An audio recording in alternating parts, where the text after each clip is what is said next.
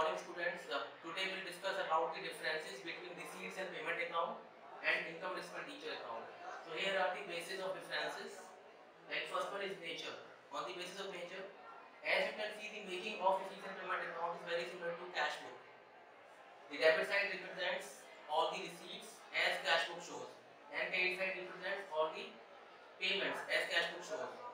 And you can show the income and expenditure account also it is very similar to a nominal account. It shows only incomes and expenditures. So it is a just like a trading and P&L account. It is. As the P&L account, trading account, we record only debit side expenses and right side we record only incomes. This is very similar to this. Now the second point of difference, account.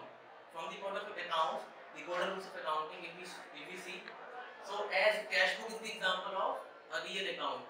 So this is the example of real account as well because it is very similar to a cash book. Receipts and payment account is the example of real account.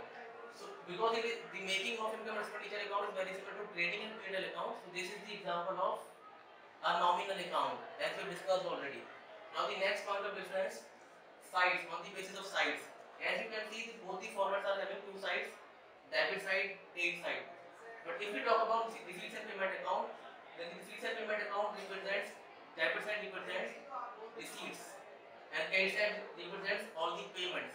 Whereas if you talk about income and expenditure account, then debit side of income and expenditure account represents all the expenditures and credit side represents all the incomes. Now the next point for difference is capital and revenue nature of items. So if we look into the receipts and payment account, both the nature of items, whether it is revenue or capital, they are being shown into the, this format. As you can see, capital receipts revenue receipts. And here you can see capital expenditures and revenue expenditures. But if we talk about income and expenditure account, in this format only the revenue nature of items are shown. Left hand side represents all the revenue expenditures. Right hand side represents all the revenue incomes. Next point for difference opening balance. If we if we see from the point of view of opening balance, then receipts and payment account starts with opening balance of cash in hand and cash at bank. You can see.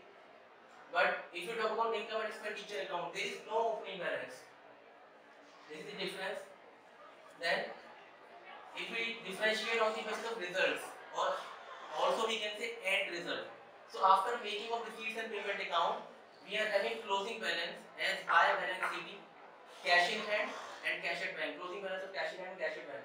Where if we see into the income and expenditure account, it is not showing any kind of closing balance but it is showing profit or loss. If credit side is more than debit side then difference will be profit. And if debit side is more than credit side then difference will be loss deficit. Then the last point is balance sheet. From the point of view of balance sheet if we are making receipts and payment account then it is not necessary that this is accompanied by a balance sheet.